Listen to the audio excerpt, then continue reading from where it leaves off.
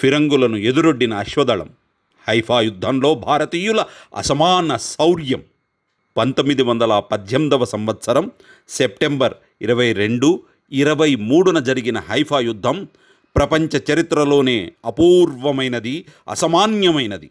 ఫిరంగులు machine gun కాల్పులకు ఎదురెళ్ళిన అశ్వదళం శత్రుస్థావరాన్ని స్వాధీనం చేసుకోవడం అప్పటి వరకు ఎప్పుడూ జరగలేదు. ఇక ముందు జరిగే అవకాశమూ లేదు. స్వతంత్ర ఇజ్రాయెల్ ఏర్పాటుకు ఈ యుద్ధమే పునాది వేసింది. అప్పటి బ్రిటిష్ పాలనలో ఉన్న భారత సైన్యంలోని జోధ్పూర్ మైసూర్ సంస్థానాలకు చెందిన సైనికులు టర్కులు జర్మన్లు ఆస్ట్రియన్లతో కూడిన సంయుక్త సేనను ఓడించి ఇజ్రాయెల్ రేవు పట్టణం హైఫాను ఎలా విముక్తం చేశారన్నది రోమాంచితమైన గాథ. సంయుక్త సేనలు సురక్షితమైన కొండపైన ప్రదేశంలో ఉన్నాయి. వారి దగ్గర తుపాకులు ఫిరంగులు మొదలైన ఆధునిక ఆయుధాలు కూడా ఉన్నాయి. మరోవైపు జోధ్పూర్ మైసూర్ సైన్యంలో ఎక్కువ భాగం అశ్వికులు కొద్దిమంది సాధారణ కాలిబంటులు. వారి దగ్గర కత్తులు బల్లాలు తప్ప ఆధునిక ఆయుధాలు లేవు. కార్మిల్ పర్వతంపై తిష్టవేసుకున్న టర్కీ సంయుక్త సేనలు డెబ్భై ఏడు ఎంఎం ఫిరంగులు మిషన్ గన్లతో ఒక్కసారిగా భారతీయ సేనలపై విరుచుకుపడ్డాయి. ఈ పరిస్థితిని ఊహించిన బ్రిటిష్ సేనలు ముందే తోక ముడిచినా మేజర్ జనరల్ దళపత్ సింగ్ షెకావత్ నాయకత్వంలోని భారత అశ్వదళం మాత్రం వెనుకంజ వేయలేదు. ముందుకు ఉరికింది. కాల్పులకు ఎదురొడ్డి కార్మిల్ పర్వతాన్ని ఎక్కడం ప్రారంభించింది.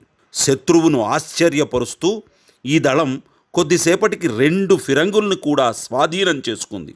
ఆ తర్వాత ఒక గంటలోపు భారతీయ అశ్వసైనికులు ఒట్టమాన్ టర్కుల నుండి హైఫా పట్టణాన్ని పూర్తిగా స్వాధీనం చేసుకున్నారు. ఒట్టమాన్ పాలనకు చరమగీతం పాడారు. ఆనాటి భారతీయ దళాల యుద్ధ నైపుణ్యం పోరాట పటిమ గురించి ప్రపంచ యుద్ధపు అధికారిక చరిత్ర మిలిటరీ ఆపరేషన్ ఇన్ ఈజిప్ట్లో ఇలా వివరించారు. ఈ మొత్తం యుద్ధంలో భారత అశ్వదళం చూపిన పరాక్రమం మరెక్కడా కనిపించదు. మెషిన్ గన్ కాల్పులకు కూడా అశ్వదళపు మెరుపు దాడిని అడ్డుకోలేకపోయాయి. కాల్పులకు ఎదురొడ్డి గుర్రాలను నడపడం మరెక్కడా చూడం. యుద్ధం తర్వాత కూడా గుర్రాలు చనిపోయాయి. ఇలా ఒక అశ్వదళం దుర్భేద్యమైన పట్టణాన్ని సైతం స్వాధీనపరుచుకోవడం ప్రపంచ చరిత్రలో మరెక్కడా కనిపించదు. మేజర్ దళపత్ సింగ్ షెకావత్ సాధించిన అపూర్వమైన విజయానికి గాను ఆనాటి బ్రిటిష్ ప్రభుత్వం ఆయనకు అత్యుత్తమ సైనిక పురస్కారం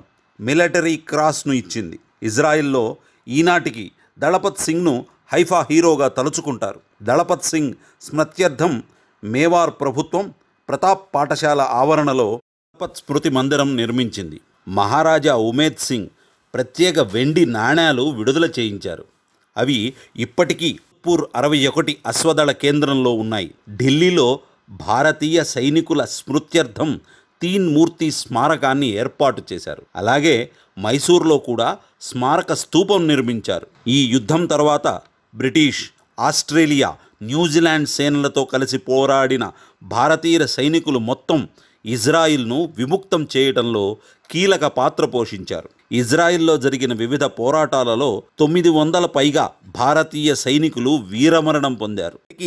వారి సమాధులను ఇజ్రాయిల్ ప్రభుత్వం పరిరక్షిస్తోంది. వారికి గుర్తుగా ప్రత్యేక స్మారకాన్ని నిర్మించింది. ప్రతి సంవత్సరం సెప్టెంబర్ ఇరవై మూడున భారతీయ సైనికుల స్మృతి దినంగా పాటిస్తారు. పాఠ్య పుస్తకాలలో కూడా వారి విజయగాథలు చేర్చారు. భారతీయ వీరుల అసమాన శౌర్యానికి అనుపమాన త్యాగానికి గుర్తుగా ఇజ్రాయిల్ ప్రభుత్వం తపాళా బిళ్ళను కూడా విడుదల చేసింది. తత్వజ్ఞానంలోనే కాదు శౌర్య ప్రతాపాలలోనూ భారతీయులు తమ ప్రత్యేకతను చాటుకున్నారని నిరూపించిన యుద్ధమే హైఫా.